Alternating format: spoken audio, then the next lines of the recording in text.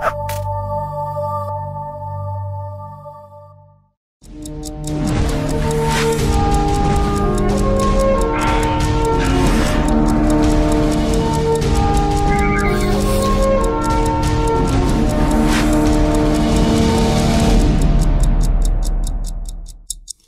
Ассалаумағалейкум құрметті телекөрермендер. Асыл арна телеарнасының эфирінде жарты сағат бағдарламасы басталды. Бүгін біздің студиямыздың қадірлі қонағы болып отырған белгілі жазушы қоғам қайраткері зейнеп ахметова. Зейнеп апа қош келдіңіз студиямызға. Көңіл мені күйіңіз қалай апа құдайға шүкір. Белгілі жазушы деп асырып жібердің нағыз жазушылардың көңіліне келіп жүрмесін. Мен жай қаламгермін. Дегенсіз. Апа ендеше бір әңгімемізді қыздырып ала жөнелсек рұқсат болса. Апа енді сіз ә, талай қоғамды көрдіңіз бірнеше бір қоғамдық формацияның өзгергенін көрдіңіз түрлі жалпы қазақтың ұғымынша бір қазақша айтқанда бір өмір көрдіңіз. Жалпы адамзат баласы үшін бір кемел қоғам бола ма екен? Осы сонау асан қайғы бабаларымызда қойдың үстіне бозторғай жұмыртқалатқан заман орнатсам ау деп керемет ә, бір замандарды аңсап ә, солар да қайғырып өткен жоқ па? Иә. шамасы бұл жаратылыстың өзінің созылып келе жатқан жалғасып келе жатқан дүниесі. Дегенменен әрбір қоғамның өзінің жетістігі кемшілігі енді болу керек қой. Бірақ жақсылыққа ұмтылу қашан да ұмтылып келе жатыр. Енді оның қан, қандай дәрежеде орындалатынын бір құдай біледі. Бізде қазір соншалық бір оңай қоғамды басымыздан өткізіп отырған жоқпыз. Жетпіс жыл бойы мүлде басқа формацияда басқа қоғамда басқа сенімде ә, былай айтқанда анығырақ айтсақ құдайсыз қоғамда ә, сенімімізді тұншықтырған сенімімізді алып қойған құдайсыз қоғамда өмір сүрдік. Содан кейін алдық дағы азаттық жаңағы егемендік қоғамға өте салдық. Мінекей осы кезде біздер де көп қателіктерге ұрындық бірақ аллаға шүкір әйтеуір ептеп болса да жылжып келе жатырмыз ғой. Мхм. Зейнеп апа сіз ә, кейінгі жылдары бір түрлі басқосуларда бір ақпарат құралдарында газет журналдарда қазақы тәрбиеге қатысты бір қазақы қалып туралы бір ойларыңызды еркін пікірлеріңізді бір ашық айтып жүрсіз.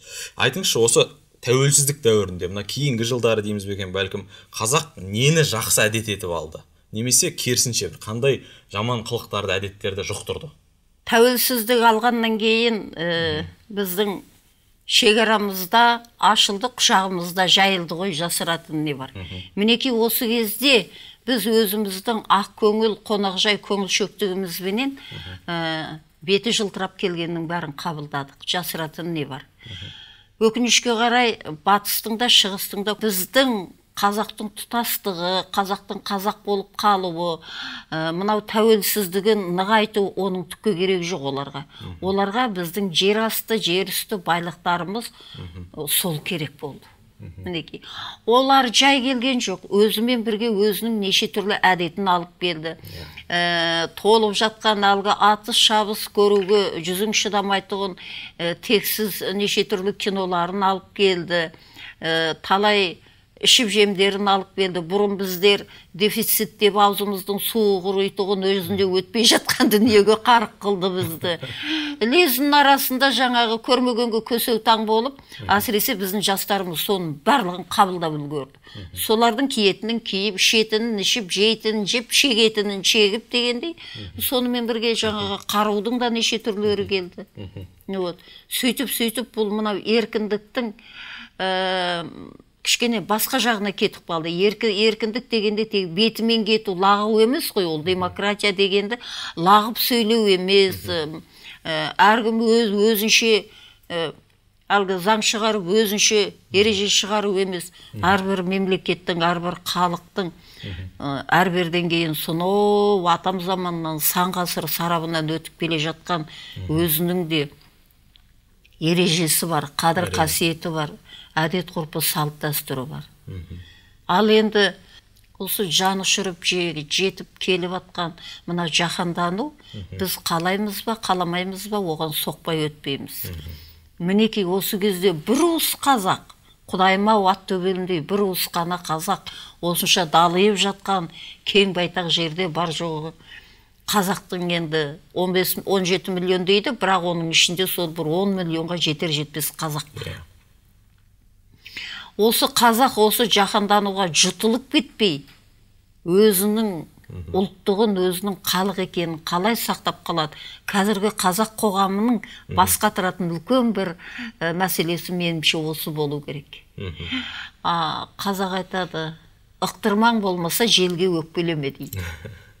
Сонда біздің ықтырмамыз не болу керек? Қазақты тым болмаса қазақтық иісімен сақтап қалатын не болу керек? Ең алдыменен бұл біздің тіліміз дініміз діліміз салт дәстүр әдет ғұрпымыз. Мінекей осымен ұрпағымызды сусындандырғанда болашақ келешекке осы қазақ атын алып барады деп ойлаймын. Зейнеп апа осы орайда бір заңды сұрақ туындайды сіз осы мұсылман болу үшін бір қазаққа араб болудың қажеті жоқ деп ашық айтып жүрсіз ғой. Осы біздің салт дәстүріміз бен дінімізді қалай ұштастырып алып жүре аламыз? Осының бір әдемі формасы бір әдемі орта тұсы қайсы? Мысалы үшін қазір қазақтың салт дәстүрінің барлығын қымс етсе болды исламда жоқ деп шығатұғындар көбейді. Шындап келгенде қазақтың бірде бір салт дәстүрі ырым тыйымы шариғатқа қайшы келмейді. Керісінше барлығы ұштасып жымдасып жатады. Олай болатын болса біріне бірін қарсы қойып халықты шатастырудың керегі жоқ. Қазақ атам заманнан мұсылман. Мен ылғи айтам қайталап қайталап айтам. Бір ақ ауыз сөзбен мысалы былай дейді. Құдайсыз қурай сынбайды дейді. Көрдіңіз ба? Бір ғана ә, жаңағы қысқа сөйлемнің ішінде қаншама мағына тұр. Мінекей қазақ ешқашан құдайсыз болған жоқ.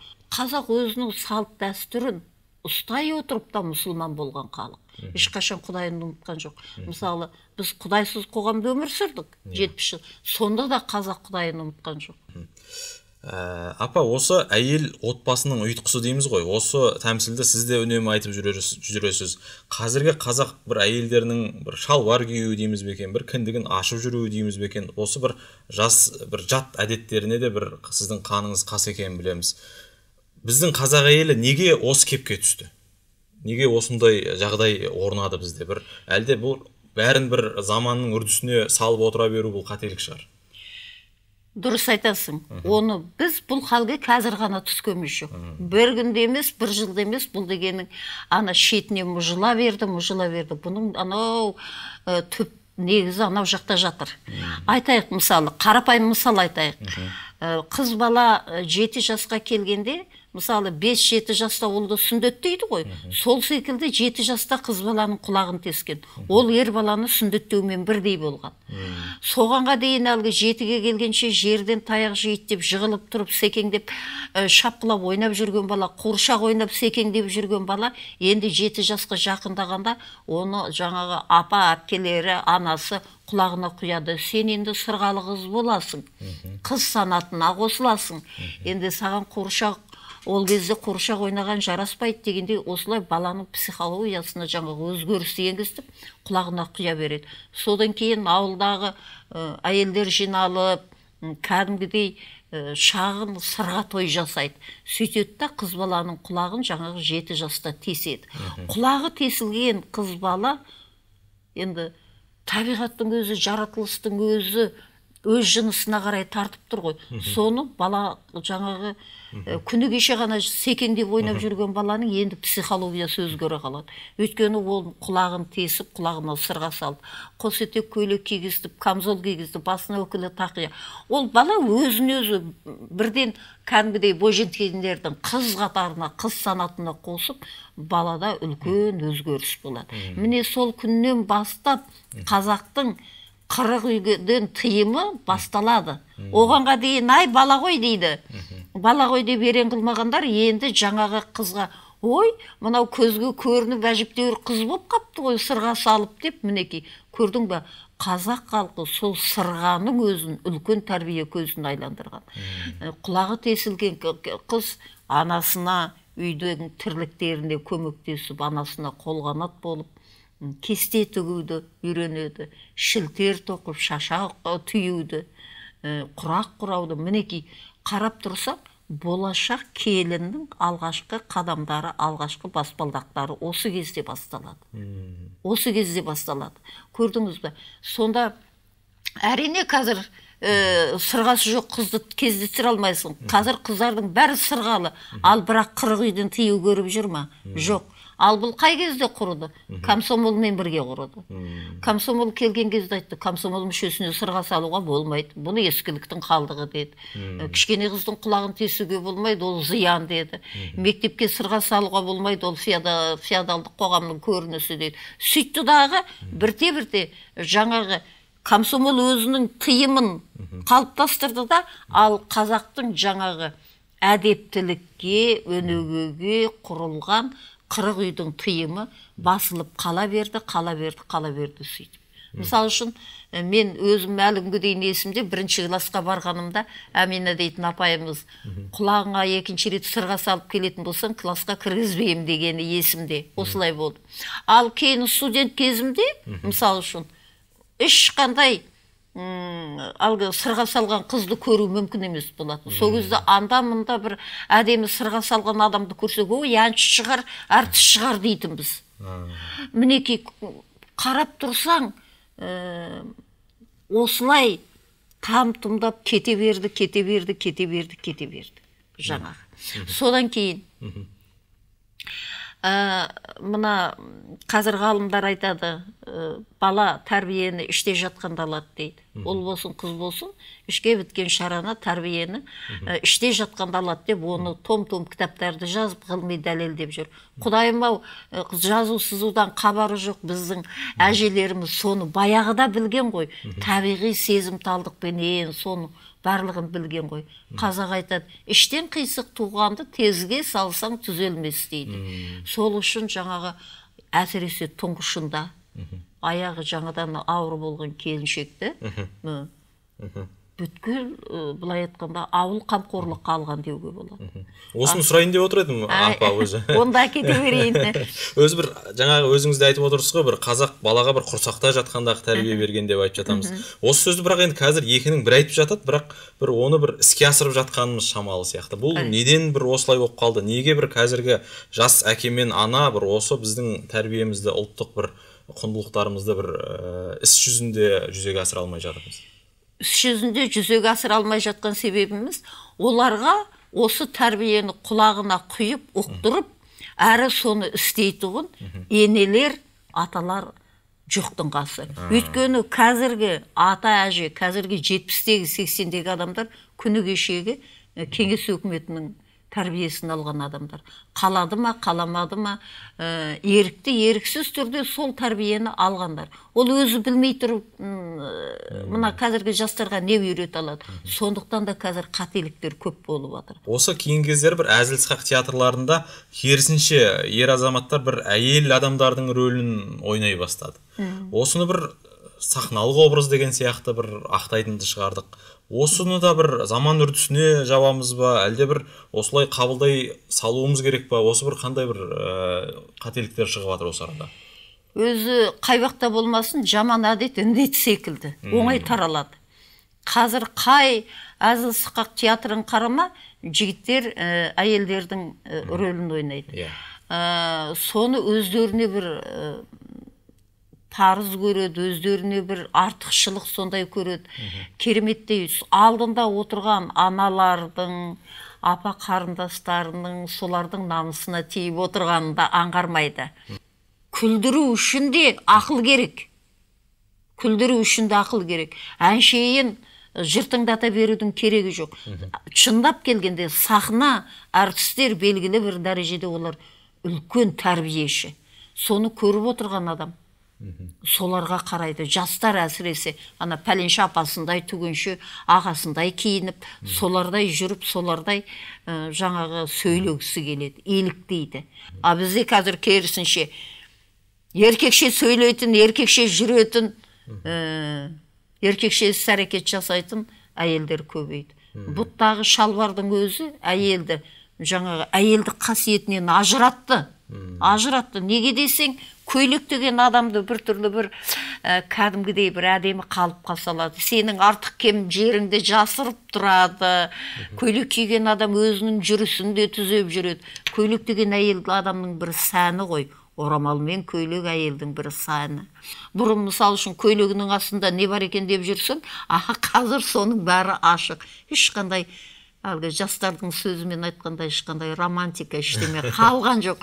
Жігіт қызығатын ештеме қалмады. Қасында кетіп сол бір жағынан сол жігіттердің де әсері болу керек.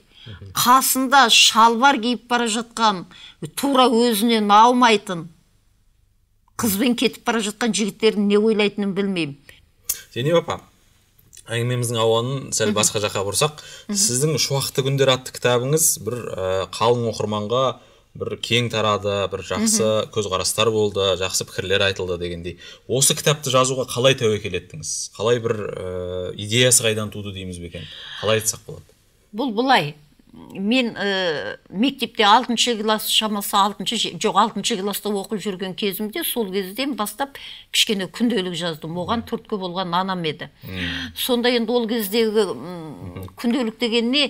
Кәдімгі баланың құдай ау ертеңгілікте тұрдым бетімді жудым шашымды өрдім мектепке бардым деп айтылатын. Осындай.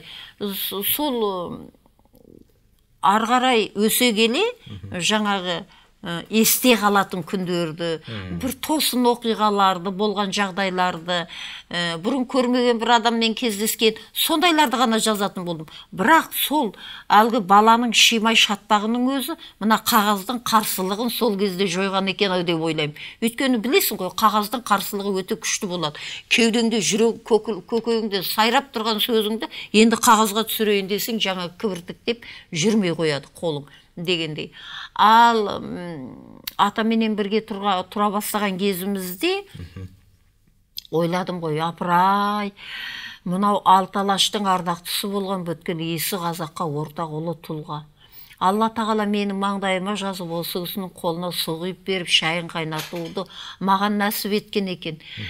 Кім біледі бұрын туған бұрын өлсе атадан ерте айырылып қалуымыз да мүмкін жанында тәнінде жаралы адам ғой ол. Бұл кісіні бір көруді армандаған адам қаншама. Бір көргенін ұмытпай айтып жүрген адам қаншама. Оған қарағанда ертелі кеш қасында жүрген келінімін ғой. Тіпті әрбір қимыл қозғалысына дейін барлығын жаза берейін деп осылай ақырын ешкімге көрсетпей ас үйдегі тартпада жаңағы дәптер қалың дәптерім жатады сол жерден осы тірлігімнің арасында жүріп әрбір естіген сөзімді ұмытып қалмайын деп сөйтіп жүріп кейін сол ә, алты дәптердің сыртының барлығы май май болып кеткен әрқайсысы мынандай мынандай қалың жаңа. Кейде асығыс бірақ кейде асығыс кейде толық бірақ мен соны атаның әрбір сөзін алып қалуды өзіме міндет санадым парыз санадым. Қазір ойласам енді білмеймін қаншалық ақылым бар екен бірақ осыған ақылым жетіпті. Өйткені ол атаның сөзі. Ата ата ата бабалардың сөзін айт ата халықтың сөзін айт маған ешқашан соғыс туралы әңгіме айтқан емес. Есесіне ұлттық үлгі өнеге ұлттық құндылықтар. Осы халқымыздың қадір қасиеті туралы айта берді айта берді. Кей кездерде түннің о таң аппақ ағарып атқанша қасында отыра беретінмін ә, мүмкін ата да менің бойымнан бір кішкентай жылт еткен бірдеңені байқаған шығар. Енді атаның өз сөзімен айтқанда ана жазып кеткені бар. Менің келінім шоқынды емес деп. Осы бір ауыз сөздің өзі жаңағы маған берілген бата. Әрине атаның алдында жүру атаға келін болу атаны күту ол оңай болған жоқ басында бұлағы бар өзен ұзақ ағады дейді. Егер де мен өзімнің отбасымнан дәстүрлі тәрбие көрмеген болсам бес уақыт намазын үзбеген анамның мектебінен өтпеген болсам әй қайдам атаға шыдауым оңай емес еді. Өйткені ата екі жағы бірдей қайралған қанжар секілді. Былай тайсаң кесіп түседі былай тайсаң осып түседі. Ал бел ортада тең жүріп тараздай тең басуға ол кезде мен жас болатынмын. Ер, ержан балам әлі төртке де келмеген кезі өзім бар жоқ 25 жастамын атаның қолына көшіп келген.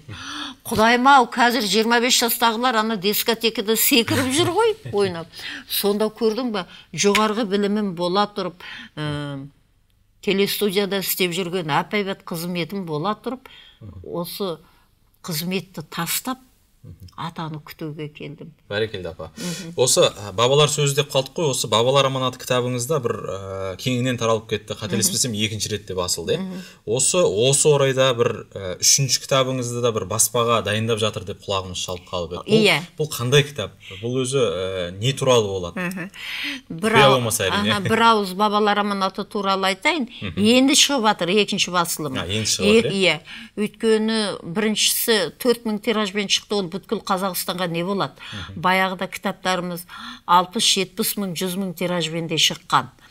Ал қазір енді жағдай солай болып тұр ғой. Бірақ осы ә, бірінен бірі көрдім ау ә, сұраулар өте көп болғандықтан ә, сол қайтадан шығып мінекей енді шығып жатыр ал қазіргі жазып жатқаным бұл бұның күнделіктерге ә, тікелей ешқандай қатысы жоқ. Құдай амандығын берсе осы жазға дейін шығып қалады деп отырмын. Бірақ бұл сол ә, салт дәстүрімізді әдет ғұрпымызды түсіндіру. Қайдан шықты? Мақсаты не? Негізі не? Қазір қалай пайдаланып жүр? Қай жерде дұрысы қай жерде бұрысы дегендей. Осыны тек қана құр өзің ғана айтып қоймай әдемі мысал әңгімелермен м, жаңағы ұштастыра отырып жалғастыра отырып осыны мына тым болмаса жас ұрпаққа жастарымызға өзімізден кейінгі балаларымызға немерелерімізге ә, соларға ұқтыру жолында осыны істеп жатырмын мен талай этнографтардың кітаптарын көрдім. Олар өте үлкен еңбектер олар. Өйткені ә, ел ішінен соның барлығын жинап бір жерге жинақтау деген оңай емес өкінішке орай. Бірнеше ә, бір дәстүрдің өзін ары кетсе бір бір екі үш абзацпен береді тіпті бірнеше сөйлеммен береді. Былай айтқанда хабарлама береді. Ал мән мағынасын түсіндірмейді. Талайдан бері айтып жүрмін. Жарайды мына тәуелсіздік алғанымызға 25 жыл болды.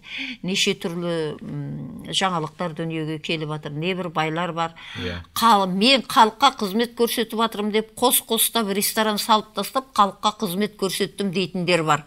Осы менің ақылыма сыя қоймайды. Ол халыққа қызмет көрсетіп емес ол өзіне пайда түсіру үшін жасады. Егер халыққа ұлтқа халық деп жалпылама айтпай ақ қояйын. Қазаққа.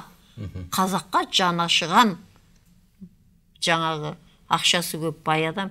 Ең болмаса тәжірибе ретінде алдыменен бір жеті сегіз адам болсын он адам болсын тіпті бес адам болсын. Неге ұлттық перзентхана жасамасқа? Ұлттық перзентхана. Мен бұны жай айтып тұрған жоқпын. Жақсы дәрігерлері менен содан кейін дәстүрді е, аяғы ауыр келіншекке бәрін түсіндіретін ұқтыратын осындай әдемі үлгі өнегеменен соны ұқтырып ә, жерік болған кезіндегі жерік асын табу дегендей содан кейін әсіресе босанған кезде ә, кіндігі, кіндігі түскенше ә, күтіп сол жерде сорпалап қалжалап кіндік шешені апару керек. Дәрігерлер меншіктеп алған. Дәрігер ол айлық алады оның міндеті. Ана мен баланың денсаулығына оның амандығына жауап беретін адам. Ол ант берген. Ал кіндік шеше ол басқа болу керек. Неге үстіне халат кигізіп аузына жаңағы маска кигізтіп алдын ала сайланған кіндік шешені неге апармасқа?